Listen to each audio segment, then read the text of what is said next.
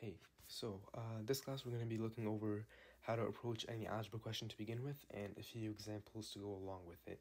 So in general, uh, we know that the approach we take to solve any normal math problem without algebra is BEDMAS. You would start off with brackets and then exponents, division, multiplication, addition, and subtraction. Uh, the six letters here stand for some uh, type of math operation that we have to do.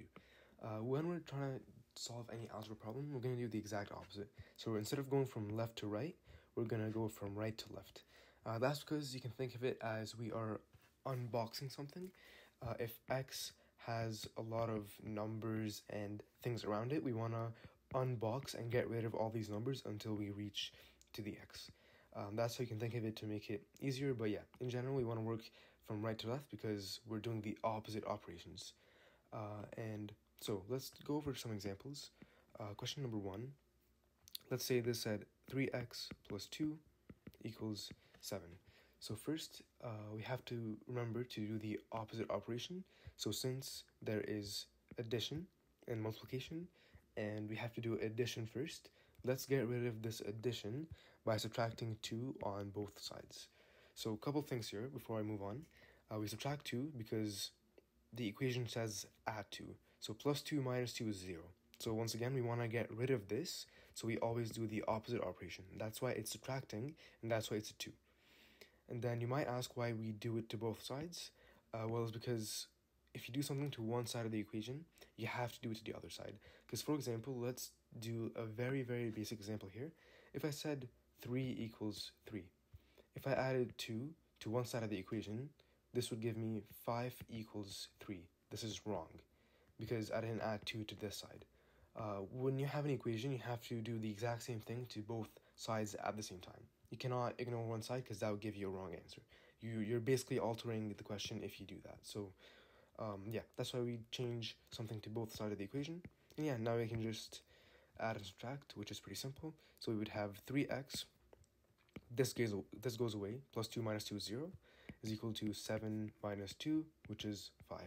So right now we have 3x equals 5. Okay, one more step to go. Uh, so we have 3x equals 5, like I said. Uh, what we can do to get rid of this 3 is divide both sides by 3. Uh, once again, you might ask, how did I figure that out? First, it's multiplication, and the opposite operation of multiplication is division. So divide both divide this side by 3, and then since we have to do the exact same thing to both sides of the equation, divide this side by 3 as well. And then you would get that x, so 3 divided by 3 is 1, so x is equal to 5 divided by 3, and that should be your answer. And one more thing, we know that this is the right stop point or checkpoint uh, because we have x equals something. Uh, if we had something else, like if we had I don't know, 16x equals something, this is not where we should stop because we still do not know what x is. In this case, we know what x is because it is equal to something, and we are trying to find out what that something is. Um, so yeah, hope that makes sense. Uh, let's move on to a few more examples. Okay, so we got two more examples here. Uh, first one says 2x plus 4 equals 6. So once again, I'm going to write uh, BEDMAS up here and we have to remember to work from right to left in the opposite direction of what we're used to. Um, so first, you get rid of the addition because addition comes before multiplication, and we have both operations here. So yeah, get rid of addition first. If you have a plus 4, uh, the way you would get rid of that is subtract 4. Once again, just do the exact opposite with the exact same number. So minus 4, but since we're doing the exact same thing on both sides of the equation, subtract 4 here as well. So we would get 2x, because the 4 goes away, four, plus 4 minus 4 is 0, and then 6 minus 4 is 2.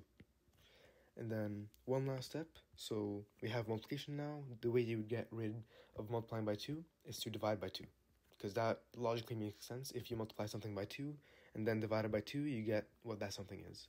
Um, so yeah, divide both sides by 2 once again, because we're doing the same thing to both sides of the equation. And then 2 divided by 2 is x, or just like 1x, which is x. Uh, and then 2 divided by 2 is 1 as well. So we get that x is equal to 1. Uh, next example, 7x minus 2 equals 10. So once again, you'd get rid of subtraction first, because this time I'm going to do it in red. Subtraction comes before multiplication, so get rid of subtraction first. How do you do that? If it's a subtraction of 2, you add 2, and to both sides once again. Uh, so you get 7x is equal to, this goes away by the way, but yeah, 7x is equal to 10 plus 2, which is 12. And then after that, one last step, uh, divide both sides by 7 to get rid of the multiplication, and we get that x is equal to 12 divided by 7, and we are done. And it is super easy to check any of these answers, uh, because this is algebra. If we found what x is, the easiest way to check if it's right or wrong is to plug it back in, in the original equation. So I'm just going to erase a couple of these steps. But yeah, so we got x equals 1. Let's put it here and see if that gives us the right answer. So our question was 2x plus 4 equals 6, and we got that x equals 1. So 2 times 1 plus 4 equals 2 plus 4, which equals 6, which is the exact same as the right side of the equation. Uh, and then since the left side is equal to the right side, uh, we know that this equation is correct. Hence, this is the correct answer for the question. Uh, hopefully that makes sense. And yeah, that's it.